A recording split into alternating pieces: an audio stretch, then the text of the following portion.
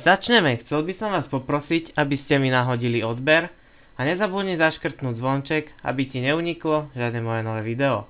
Po ho, sa vás ľudia, vítam vás u malého informačného videa. Je to o tom, že zápasy, ktoré sa mali hrať k Halloweenu, príkladne Nitra, BFT, Ružinov, sa hrať nebudú. Z toho dôvodu, že Nitra má ešte veľa nakazených a jediný zápas, ktorý bude, tak bude aj reálny až a to je 10. novembra, takže ale v, na našom kanáli neprebehne tiež zápas, to znamená, že je to tak, jak je, z toho dôvodu, ako je.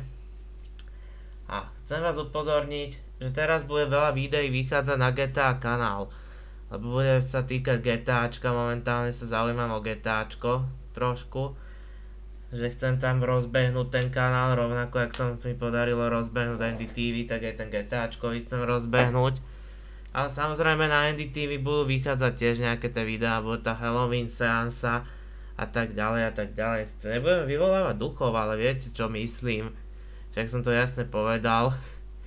S duchmi nemáme dobrú skúsenosť nikto, takže žiadne také, budeme ich skôr odháňať od nás. Lebo nechceme niečo zlé nasadiť na seba, tak to je jasné.